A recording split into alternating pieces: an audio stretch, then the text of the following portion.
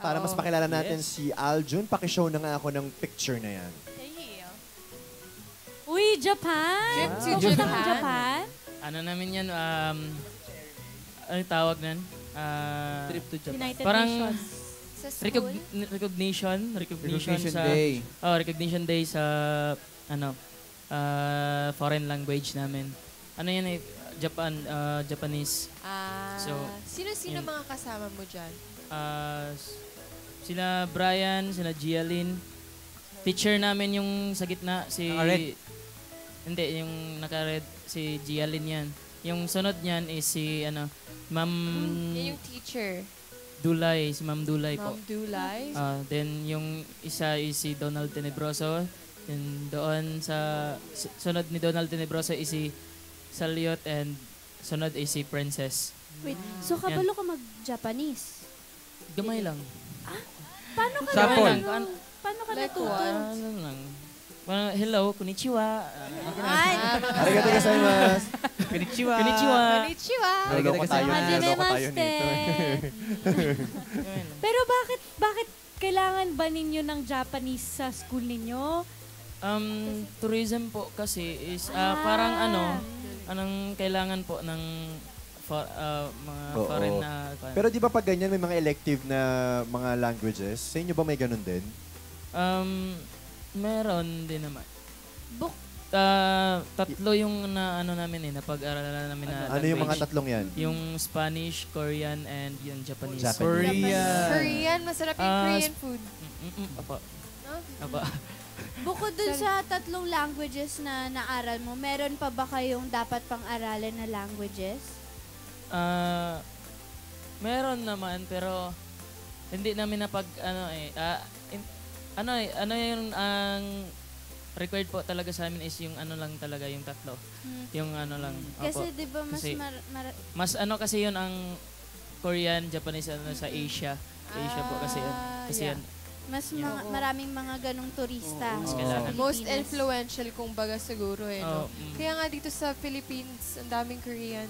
Na? Yes, tsaka mga Mm, Japanese, meron di ba? oo. Pero kung ikaw ang bibigyan ng pagkakataon, ano yung gusto mong aralin na language? Um, Maliban dun sa tatlo. ah, ano na lang, English na lang. Mahirap kasi yung tatlo eh. Oo, yun. Prefer English na lang bagay, po. mas madali. Ayun. Oh, lapit ka sa akin, tuturuan kita Pero- mag-English. Ay, Al- wag na ano, lang. Pero hindi meron- lang yan yung picture na titingnan natin ngayon. Meron pa tayong isa. Kaya naman, please show the other photo.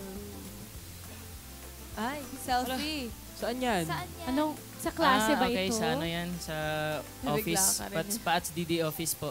Si Sergio yun po yung andun sa huli eh. Sir Jo? Oh, Miha- Mihares. Sergio Mihares. Sino yung opo. katabi mo na nagsusulat?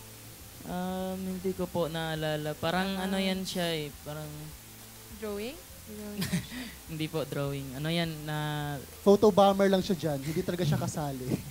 yeah, she, hindi na Hindi, naalala. pinipicturean ko lang yan siya kasi ano, documentation po kasi sa ano eh, sa sa ano, defe, ah, ano yan, defense yan, defense, OJT defense, opo. I see. Opo, JT Thesis defense ba po. yan? Hindi po thesis, pero OJT po. OJ. Summer Ah. OJT po. Parang hindi ka ma- masaya sa dyan na. Parang, Kamusta, kamusta ba yung first OJT mo? Um, okay din naman. Okay, okay, okay din naman. Ano, ah, parang, Parang hindi okay ah. Hindi siya sure. Kasi may Sigurado nabagawa. ka ba okay, na okay po, okay okay lang? po. oo, okay naman. okay.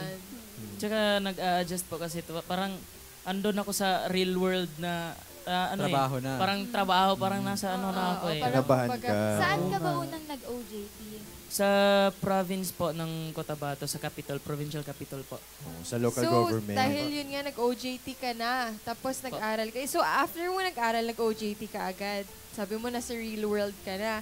Feeling mo ba talaga mas mahirap yung nag-aaral o yung nagtatrabaho na yung mga OJT ganyan? Um, mas ano eh, yung mag, nagtatrabaho, yung mag-OJT kasi ano eh, kayo yung inaatasan talaga sa pag, kung ano yung mag, magkakamali ka doon, ah, lagot ka talaga sa ano mo. Oo. Tama. Kasi Pero yung ano, pag-aaral pwede pa naman ano eh. nako-correct kasi pag sa school, pwede namang Opo. mali. Iko-correct ng Mm, teacher. Pero pag sa real world na, pag mali, Kaya nga eh, oh. may nalulos na. Yan, oo. Pero di ba OJT rin ang tawag kapag yung third year student ka na? Opo, OJT third po. Summer po. Summer, summer OJT. On the job training. Pero ito, tanungin ka lang namin, uh, Aljun, kung halimbawa hindi mag-pursue yung career mo as a singer, ano ba talaga yung gusto mong trabaho or ano yung gusto mong career na ipagpatuloy? Um, gusto ko po kasi nga ano eh, ah, maging, ah, kasi management, management kami. Gusto ko pong, yun, someday baka maka-manage ako ng ano sa barko, yun, ganun. Kasi ano ko eh, anong, gusto ko yung adventure na ano, Mhm. yung mga ganun. Yung nag-work ka na, work Oo. yung nag-work ka na, Yeah. tapos Apo, yung mga nag-work ka pa. ako, parang, yung marami akong makikita, may encounter na different pers ah, personalities, yung mga ganyan. oo. If I'm not Apo, mistaken, sabi mo before, nung pa, unang-una pa lang natin, gusto mong mag-perform nga sa, ano, di ba, sa mga barko, mga, Ayun, apa, mga, apa, apa. ano yan, mga tawag? Cruise ship. Cruise. Eh, cruise ships, ship. apa, apa. Oo. Yun, yung gusto, yung Cruise gusto ko pa. ship yung yung maging ano din ako uh, ah, total performer sa ano mm-hmm. cruise ships. Cruise ship. Nagtatrabaho ka na, nakaka-travel ka pa. Exactly. Showtime!